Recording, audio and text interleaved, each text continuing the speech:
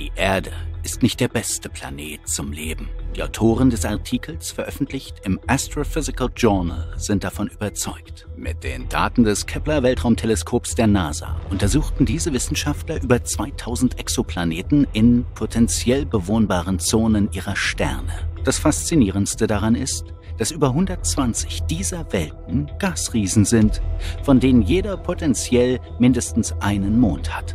Überraschenderweise gibt es dort die größten Chancen, außerirdisches Leben zu finden. Diese Monde könnten nicht nur flüssiges Wasser haben, sondern Gasriesen können sie auch vor kosmischer Strahlung schützen, ein Magnetfeld und sogar eine Atmosphäre bieten. Mit anderen Worten, alles, was die Erde mühsam und mit viel Glück erlangt hat, könnten die Monde der riesigen Exoplaneten ganz einfach bekommen haben. Die Sache hat nur einen Haken. Trotz der Bemühungen der Astronomen und der Beobachtungen des James Webb Weltraumteleskops wurden bisher keine Exomonde gesichtet. Doch allein in unserem Sonnensystem haben Gasriesen sage und schreibe 131 Monde. Und viele Wissenschaftler glauben, dass einige von ihnen nicht nur Wiegen für außerirdisches Leben sein könnten, sondern auch perfekte Welten für die Besiedlung. In diesem Video erfährst du, welche Monde mehr als nur Bakterien beherbergen könnten was Landwirte auf der Erde dort anbauen könnten und warum die kalte und düstere Welt, die den Saturn umkreist, für eine Besiedlung besser geeignet ist als sogar der Mars. Und ganz allgemein, wie könnte das Leben auf den Monden der Gasriesen im Sonnensystem aussehen?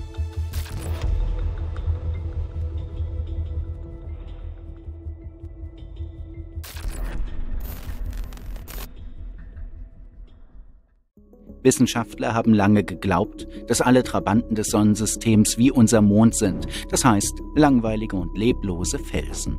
Doch einige von ihnen haben die Astronomen bei ihrer Erkundung überrascht.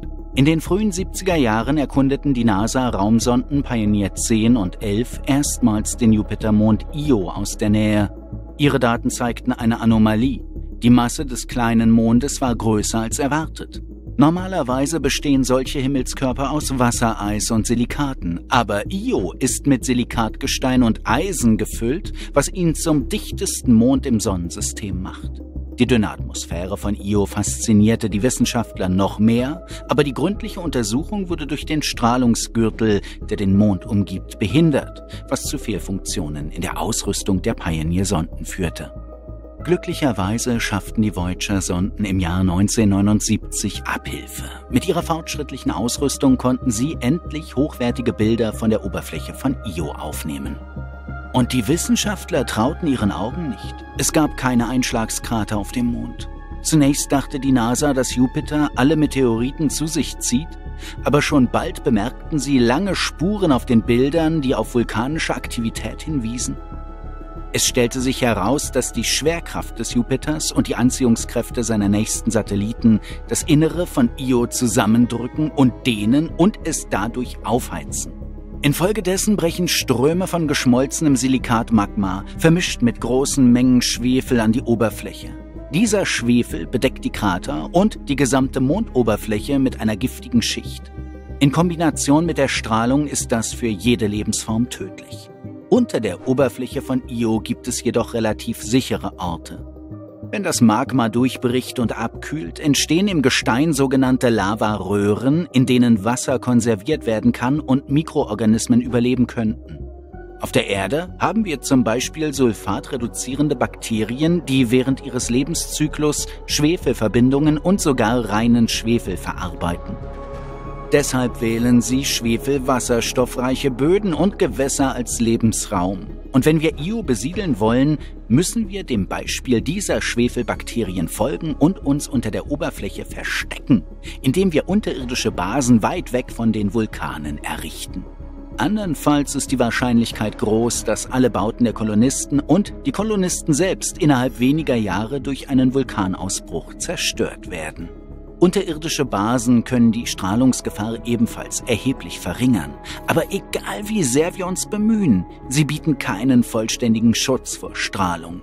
Außerdem wird selbst die am besten abgeschirmte Elektronik der Kolonisten ausfallen, genau wie bei Pioneer 11. Aber gibt es einen Ort im Sonnensystem, der mit Io vergleichbar ist, aber ohne solch erstreckende Strahlungswerte? Ein weiterer Mond mit aktivem Vulkanismus ist Triton. Die genauen Daten über diesen Himmelskörper bekamen wir erstmals 1989, als die Voyager 2 an Triton vorbeiflog. Die Wissenschaftler erwarteten einen tristen, leblosen Brocken zu sehen, aber stattdessen zeigten die Bilder eine komplexe Topographie. Außerdem schießen an manchen Stellen mysteriöse, dunkle Geysire direkt in den Weltraum. All das geschieht bei einer Temperatur von minus 235 Grad, was bedeutet, dass wir es mit Kryovulkanismus zu tun haben. Unter solchen Bedingungen brennt sich gewöhnliches Wasser wie Lava durch. Auf der Oberfläche von Triton könnten nur Bakteriensporen überleben, die in einem ruhenden Zustand auf bessere Bedingungen warten. Über die unterirdischen Wasserreservoirs, aus denen die Geysire ausbrechen, wissen wir zu wenig, um irgendwelche Schlüsse zu ziehen. Wenn wir uns jemals dazu entschließen, eine Basis auf Triton zu bauen, müssen wir über eine zuverlässige Isolation anstelle eines Strahlungsschutzes nachdenken. Dies kann mit lokalen Ressourcen erreicht werden, zum Beispiel mit Eisblöcken, die zu einer Kuppel geformt werden. Daraus kann Wasser gewonnen werden und der Brennstoff, der buchstäblich unter unseren Füßen liegt, kann die Energie zum Schmelzen liefern. Anscheinend enthält Triton Ammoniak, Methan und Stickstoff, die sogar zu Raketentreibstoff synthetisiert werden können. Das Haupthindernis für die Besiedlung dieses Neptunmondes ist jedoch die Entfernung. Er ist 30 Mal weiter von der Sonne entfernt als die Erde und die Reise dorthin würde mindestens zwölf Jahre im besten Fall dauern. Moderne Technologien erlauben es noch nicht, die für das Überleben der Kolonisten notwendige Ladung an Materialien und Nahrungsmitteln zu einem so weit entfernten Ort zu transportieren. Selbst die Erkundungsmissionen der NASA zum Triton werden immer wieder verschoben. Seien wir also pragmatisch und kehren wir zu den Monden zurück, die die nahen Gasriesen umkreisen. Abgesehen von Io haben die Voyager-Missionen zu den anderen Monden des Jupiters die Astrobiologen sehr fasziniert. 95 kam die Raumsonde Galileo dort an und schickte über 30 Gigabyte an einzigartigen Informationen. Die Wissenschaftler waren besonders interessiert an Europa. Sie entdeckten seltsame Linien auf seiner eisigen Oberfläche. Galileo bestätigte, dass sich diese Linien ständig verändern, was darauf hindeutet, dass sie nichts anderes als Risse im Eis über einem Ozean aus flüssigem Wasser sind. Wissenschaftler glauben jetzt, dass sein Volumen doppelt so groß wie die aller Ozeane der Erde zusammen ist.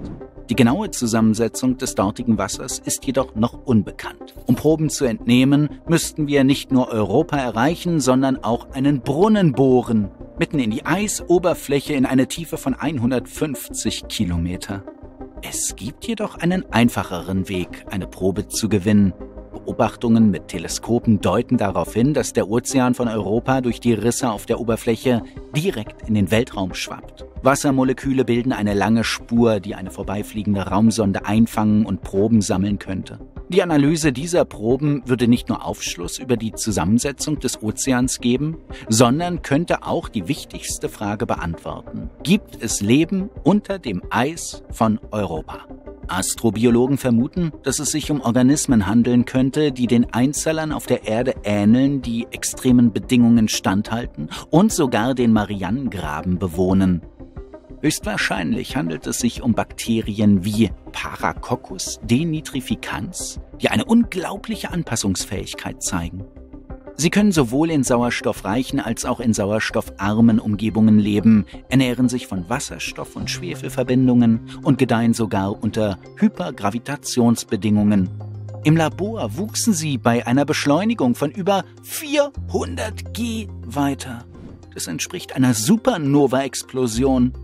Leider sind die Menschen von einer solchen Ausdauer weit entfernt und wenn wir Europa besiedeln wollen, müssen sich NASA-Ingenieure den Kopf zerbrechen. Ich wette, dass du schon über eine Unterwasserstadt unter dem Eis nachgedacht hast. Um die Machbarkeit eines solchen Projekts zu verstehen, müssen wir uns jedoch zuerst durch das Eis von Europa bohren und Roboter unter dem Eis einsetzen. Die NASA testet bereits eine einzigartige, im Wasser schwimmende Drohne, die im Wesentlichen gegen die eisige Kruste gedrückt wird. Dann müssen nur noch die Räder angetrieben werden und das Gerät kann den gesamten Mond von innen durchqueren. Wenn sich die Bedingungen als geeignet erweisen, wird der nächste Schritt der Bau einer Unterwasserbasis sein, um Sauerstoff direkt aus dem Wasser zu gewinnen. In Wirklichkeit ist es keine Option, sich unter dem Eis von Europa niederzulassen, sondern eine Notwendigkeit, da die Oberfläche des Mondes auch radioaktiv ist. Hochradioaktiv. Schon nach einem Tag auf Europa wären die Kolonisten der fast 2000 mal höheren Strahlung als die durchschnittliche jährliche Strahlendosis der Erde ausgesetzt. Und das würde ausreichen, um sich innerhalb des nächsten Monats vom Leben zu verabschieden. Wenn also aus irgendeinem Grund die Unterwasserbasen versagen, die eisige Kruste sich als zu unüberwindbar erweist oder das Wasser selbst giftig ist, müssen wir die Idee der Kolonisierung aufgeben und ernsthaft einen anderen Jupitermond in Betracht ziehen. Ganymed ist der einzige Mond im Sonnensystem, auf dessen Oberfläche die Strahlung fast keine Gefahr darstellt. Das verdankt er vor allem seiner Magnetosphäre, die von der bekannten Raumsonde Galileo entdeckt wurde. Normalerweise findet man solch starke Magnetfelder nur um Planeten herum und nicht einmal um alle von ihnen. Aber Ganymed übertrifft von der Größe her den Merkur. Er ist im Grunde ein ganzer Planet, der den Jupiter umkreist. Als Bonus entdeckte Galileo einen unterirdischen Ozean auf Ganymed. Das scheint ein Trend unter den Monden der Gasriesen zu sein. Aber es könnte bis zu vier dieser Ozeane geben.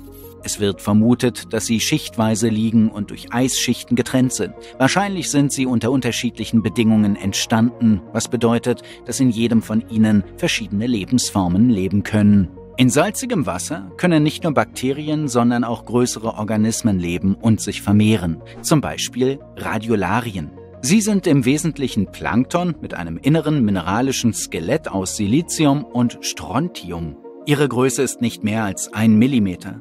In salzigem Wasser könnten die Organismen jedoch zehnmal größer sein. Artemia ist ein Krustentier, das in Salzwasserkörpern auf der ganzen Welt lebt. Sie können sich auch ohne einen Partner fortpflanzen. Normalerweise legen sie Eier, aber unter extremen Bedingungen werden sie lebendgebärend. Artemia-Eier können lange Zeit überleben, auch ohne Sauerstoff und Wasser. Wenn es auf Ganymed keine außerirdischen Krustentiere gibt, können seine Ozeane mit irdischen Artemia besiedelt werden. Ein aus ihnen hergestellter Brei ist so nahrhaft, dass er Fleisch ersetzen kann, was viel günstiger ist, als viel Energie für den Anbau von im Labor gezüchtetem Fleisch aufzuwenden. Abgesehen von der Strahlungssicherheit ist Ganymed damit ein vielversprechender Ort für die Besiedlung. Außerdem gibt es noch eine weitere wichtige Voraussetzung für Leben dort. Die ersten Beobachtungen durch Teleskope von der Erde aus zeigten eine dünne Atmosphäre um Ganymed, aber Voyager 1 konnte dies nicht bestätigen. 1995 konnten Wissenschaftler mit Hilfe von Spektralanalysen jedoch feststellen, dass Ganymed definitiv eine sauerstoffhaltige Atmosphäre hat. Allerdings ist sie zu dünn, um zu atmen oder die Wärme zu speichern. Deshalb erreicht die Temperatur auf Ganymeds Oberfläche minus 203 Grad Celsius. Doch selbst eine dünne Sauerstoffhülle auf Monden ist eine große Seltenheit und hier kann er extrahiert, gereinigt und für die Atmung der Kolonisten bereitgestellt werden. Auf jeden Fall gibt es auf Io, Europa und Ganymed nur vereinzelte Ecken, in denen primitives außerirdisches Leben gedeihen kann. Und die Kolonisten werden enorme Anstrengungen unternehmen müssen, um die fehlende Atmosphäre, die Strahlenbelastung und andere Nachteile auszugleichen. Aber im Sonnensystem gibt es einen Ort, an dem all diese Tricks unnötig sind, und das ist ein ganz besonderer Himmelskörper, der den Saturn umkreist. Diese düstere und kalte Welt könnte sich als der beste Ort für Leben im Sonnensystem erweisen. Die vorbeifliegenden Pioneer 11 und Voyagers konnten nicht einmal seine Oberfläche erfassen, die von dichten Wolken verdeckt wird. Um unter sie vorzudringen, musste eine spezielle Mission organisiert werden. Am 14. Januar 2005 landete die Huygens-Sonde erfolgreich auf dem größten Saturnmond, Titan. Und sie entdeckte nicht nur Wolken, sondern etwas, das kein anderer Satellit eines Planeten im Sonnensystem hat, eine dichte Atmosphäre. Außerdem besteht sie wie die Erde hauptsächlich aus Stickstoff und zerstreut die zerstörerische kosmische Strahlung. Aber die Ähnlichkeit endet hier.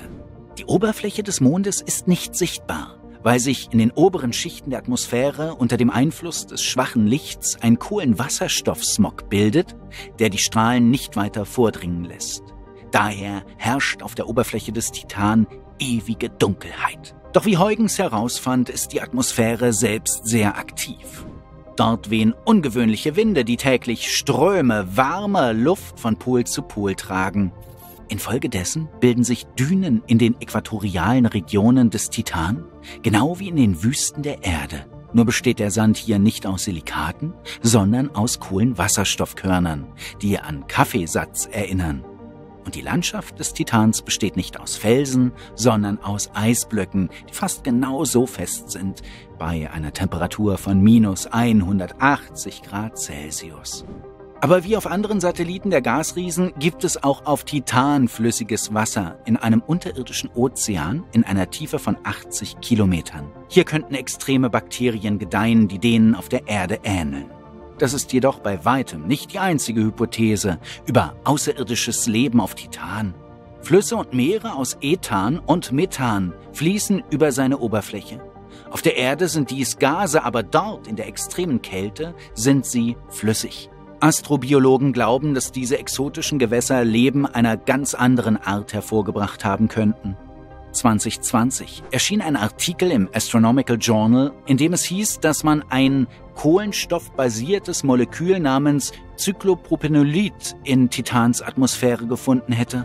Das ist ziemlich seltsam, weil solche Verbindungen normalerweise in interstellaren Staubwolken zu finden sind und die Atmosphäre des Titan dafür eigentlich zu warm ist. Cyclopropinoliden sollten sich dort einfach auflösen.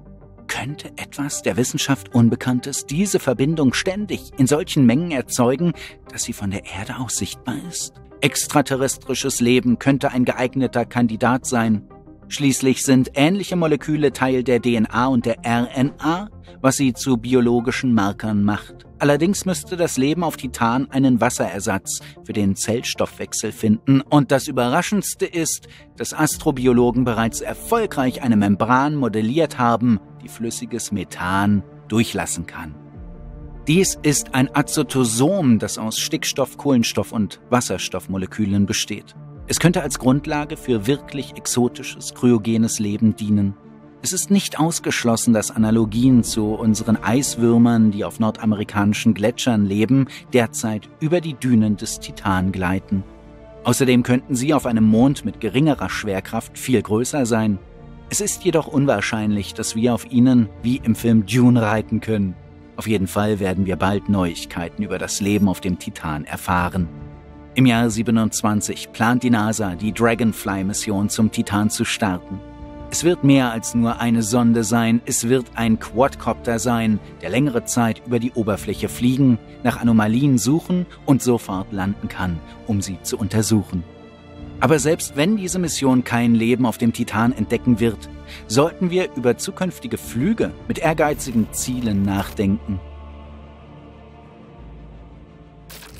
Obwohl Titan auf den ersten Blick kalt und unwirtlich erscheint, ist er wohl die vielversprechendste Welt für eine Kolonisierung im gesamten Sonnensystem. Ja, ich schließe hier den Mars mit ein, der üblicherweise in einigen der wichtigsten Parametern hinter Titan zurückbleibt. Und hier ist auch der Grund, warum. Die Kolonisten einer neuen Welt benötigen eine große Menge an Baumaterialien. Für den Bau einer Basis auf dem Mars planen die NASA-Ingenieure die Verwendung von Erde und Gestein, die nur begrenzte Möglichkeiten bieten. Titan hingegen verfügt über einen unbegrenzten Vorrat an flüssigen und festen Kohlenwasserstoffen, die leicht zu Polymeren synthetisiert und in jede gewünschte Form gebracht werden können. Im Gegensatz zum Marsgestein können diese leichten und robusten Materialien zum Bau von Lebensräumen, Laboren und Gewächshäusern verwendet werden. Außerdem könnten überschüssige Kohlenwasserstoffe in Zukunft sogar zur Erde zurückgeschickt werden. Wenn man über eine langfristige Besiedlung nachdenkt, stellt sich unweigerlich die Frage nach Nahrung und Wasser. Düngemittel für den Anbau von essbaren Pflanzen auf dem Mars müssten importiert werden, da sie auf einen fragilen, geschlossenen Reproduktionszyklus angewiesen sind. Auf dem Titan hingegen enthält die Atmosphäre bereits Stickstoff, Methan und Ammoniakdünger. Dies würde den Anbau von Gemüse in speziellen Gewächshäusern und sogar die Schaffung von selbstversorgenden Ökosystemen mit minimalem Aufwand ermöglichen. Die größte Herausforderung wäre die Bereitstellung von Wärme Wasser ist auf dem Mars Mangelware und kommt nur in den Polkappen vor, was einen Transport über weite Strecken erfordern würde. Auf Titan sprudelt das Wasser direkt unter der Oberfläche. Obwohl es etwa 10% Ammoniak enthält, das als Frostschutzmittel wirkt, kann es leicht gereinigt werden. Kohlenwasserstoffflüsse würden den Kolonisten ebenfalls gute Dienste leisten, da sie für die Stromerzeugung genutzt werden könnten. Außerdem muss man in der Nähe von Tonnen flüssigen Treibstoffs keine elektrischen Funken befürchten. Denn in der Atmosphäre von Titan gibt es keinen Sauerstoff, was eine Verbrennung praktisch unmöglich macht. Auf dem Mars könnte die Energie nur aus Sonnenkollektoren gewonnen werden, die nach Sandstürmen ständig gereinigt werden müssten. Und das alles in klobigen Raumanzügen, denn die Marsatmosphäre ist nicht nur mit giftigem Kohlendioxid gefüllt, sondern auch extrem dünn. Der Atmosphärendruck auf dem Mars ist nur 0,59 Prozent des Wertes auf der Erde. Aber auf dem Titan ist sie eineinhalb Mal so hoch wie auf der Erde. Deshalb brauchst du nur einen Anzug, der dich vor der Kälte schützt und eine Atemmaske mit Sauerstoff. Dieser kann in ausreichenden Mengen aus dem unterirdischen Ozeanwasser gewonnen werden. Die Hauptsache ist, dass die Atemreservoirs extrem zuverlässig sind, um Explosionen zu vermeiden. Und du könntest sogar den unterirdischen Ozean des Titans mit Cyanobakterien bevölkern, Rüste sie mit stärkeren UV-Lampen aus und warte, bis sie genug Sauerstoff produzieren. All diese Vorgänge können von einer Basis aus durchgeführt werden, die den bestehenden Konzepten für Marssiedlungen ähneln könnte. Mit dem einzigen Unterschied, dass es keine Druckschwankungen gibt und man sich vor tödlicher Strahlung schützen muss. Stattdessen sollte die Isolierung robuster sein, nicht nur für den Komfort der Kolonisten sondern auch, weil die Menschen und ihre Ausrüstung auf dem Titan eine beträchtliche Menge an Wärme erzeugen werden. So viel, dass ohne eine angemessene Isolierung sowohl die Basis als auch die Kolonisten buchstäblich den Kohlenwasserstoffboden schmelzen und darin versinken würden. Außerdem ist das bequemste Transportmittel auf Titan nicht das Auto, sondern das Fliegen und Schwimmen. Die NASA entwickelt bereits ein spezielles Wasserflugzeug, das in der dichten Stickstoff-Methan-Atmosphäre des Titans schweben und über seine Ozeane gleiten kann. Aber das Erstaunlichste ist, dass man auf Titan auch ohne spezielle Maschinen fliegen kann. Es ist der perfekte Ort, um den langjährigen Traum der Menschheit vom Fliegen zu erfüllen, indem wir einfach mit den Armen wedeln. Die Schwerkraft hier ist nur 14 Prozent der Erde ein paar Faltflügel könnten also jeden Kolonisten in einen Vogel verwandeln. Doch selbst nach all dem ist der Mars dem Titan in Sachen Erreichbarkeit immer noch überlegen.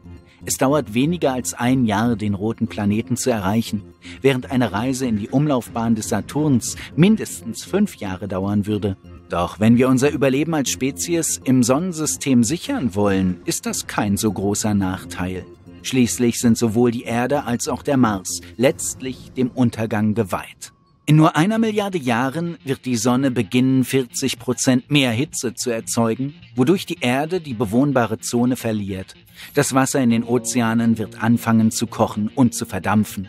Der sich ansammelnde Dampf in der Atmosphäre wird zu einem Treibhauseffekt führen und unseren Planeten in nur wenigen tausenden Jahren in einen höllischen Ofen verwandeln, der der Venus ähnelt. Und in vier Milliarden Jahren wird sich die Sonne in einen roten Riesen verwandeln, sich ausdehnen und fast alle Planeten in der Nähe verschlingen. Wenn der Mars überlebt, wird er die sonnennächste Welt sein, ähnlich wie Merkur jetzt. Ein glühend heißer Felsbrocken. Wenn unsere Kolonie dort ist, schmilzt sie einfach weg. Nach einer solchen Apokalypse im inneren Sonnensystem werden die Monde der Gasriesen jedoch mit reichlich Wärme aufblühen und für viele Millionen Jahre viel angenehmer sein. Also, wähle jetzt, auf welchem Mond möchtest du leben?